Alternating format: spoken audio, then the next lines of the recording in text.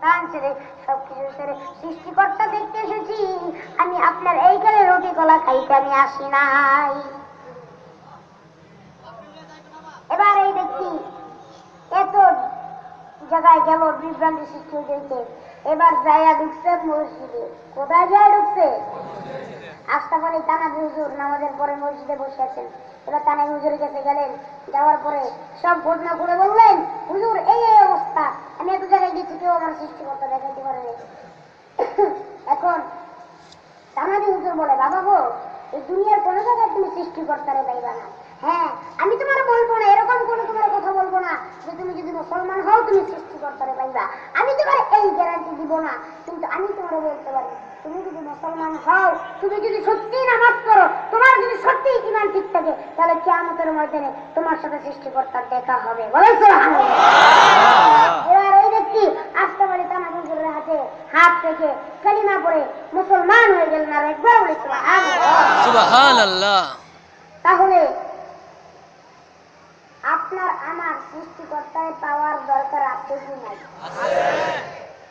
قل إن كنتم تحبون الله فاتبعوني يحببكم الله আল্লাহ বলে যদি আমার আগে পাইতে হয় আমারও যদি পাইতে হয়, আমার নবীরে পাইতে হয়, নবীরে পাইতে হবে। আর নবীরে পাইতে হলে সাহাবাদেরকে পাইতে হবে, আমরা তো সাহাবাদেরকে পাবো না।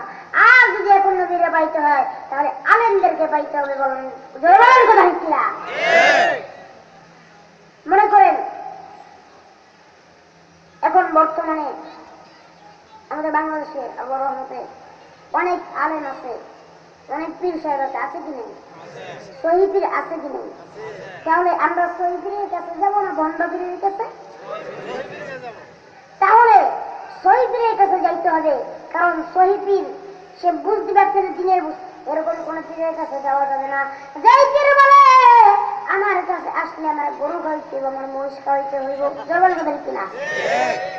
কিছু কিছু মানুষ আছে, আবার কিছু কিছু পীর আছে, খাইতে খাইতে পেট এরকম মোটা হয়ে গেছে। মানুষের গরু আর ছাগল খাইয়া এই অবস্থা। আমি বলি, আপনারা শহীদের কাছে যান, যে দিন শিক্ষা দিতে পারে, যে আপনারা কোরআন শিক্ষা দিতে পারবে। আসলে যারা শহীদ, তারা কোনো সময় বলে না, আমাদের খাওয়ানো লাগবে। শহীদ সে আলেম সে কি শিখাবে আপনারা সে নামাজ পড়তে শিখাবে, নামাজ কীভাবে পড়তে হবে সেটা শিখাবে। আর আপনার ওই পীর সাহেবের দেখা হবে, বছরে একদিন আপনার উরুষ শরীফে। তারপর ওই পীর সাহেবের কাছে যাইবেন যাওয়ার পরে ওই আপনার কি করব ঠিক টাইম অল্প শুনে আপনি আমলও করতে পারবেন না। আর এখন যে পীরেরা আজকে আপনারা তাদের কাছে যাবেন তারা আপনাদের আমল শিখিয়ে দিবে নামাজ শিখিয়ে দিবে রোজা শিখিয়ে দিবে আপনার সুরা যত কিছু দরকার ইসলামী সব শিখিয়ে দিবে। আমরা যাইতে রাজি আছি কি নাই? রাজি আছি কি নাই? তাহলে বলতেছিলাম আমাদের খুবই দরকার।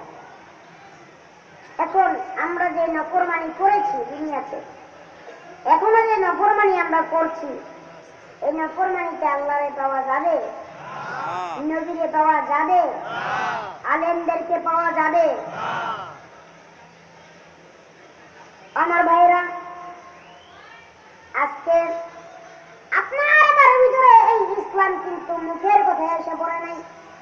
এই দিন কিন্তু মুখের কথায় আসে নাই।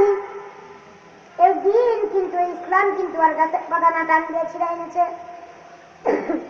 এই ইসলামের জন্য, এই দিনের জন্য, এই কোরআনের জন্য আমার নবী জিন্দগিতে অনেকবার আঘাত পাইছে জোরে বলেন কথা দিচ্ছি না আমার ভাইরা, আমার নবী যখন তাইফের ময়দানে ইসলামের দাওয়াত নিয়ে যায়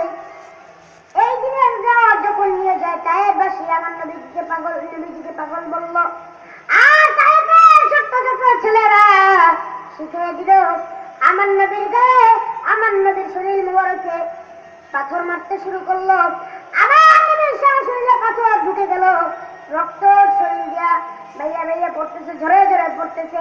তারপর আমার নবী এই কালিমার দাওয়াত বন্ধ করে নাই জড়বানের ঠিক কিনা? আর আজকে আমরা কিছু কিছু মানুষ জড়বাই কালিমার দাওয়াত বন্ধ করে দিতে বলুন ঠিক কিনা? তাহলে জানতে হবে কোরআন জানতে হবে মানতে হবে বুঝতে হবে শিখতে হবে সব সমস্যার সমাধান একমাত্র দিতে পারে আল কোরআন। জড়বানের কথা ঠিক কিনা? আপনি আমার আমার মুখের আপনার আমার মুখের কথায় কিন্তু বিশ্বাস করবেন না।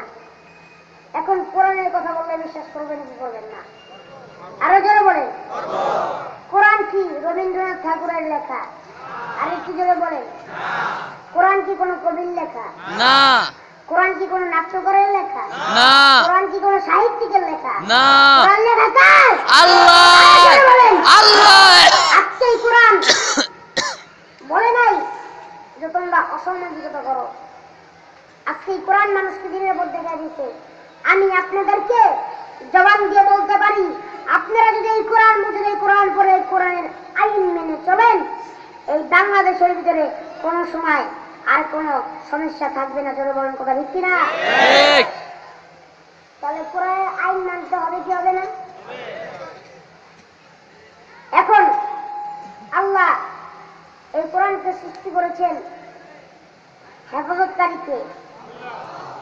আল্লাহ রব্বুল আলামিন কোরআনের ভিতরে বলেন, ইন্না নাহনু নাযালনা যিকরা ওয়া ইন্না লাহু লাহাফিজুন। আল্লাহ বলেন, এই কোরআনকে আমি সৃষ্টি করেছি এবং এই কোরআনের রক্ষা আমি নিজেই করব কোরআনের রক্ষা কি করবে এখন আল্লাহ বলেন যে এই কোরআনকে আগে কাফেররা পুড়ে ফেলছে আমাদের বর্তমানেও পুড়ে ফেলে ফেলে কি ফেলে না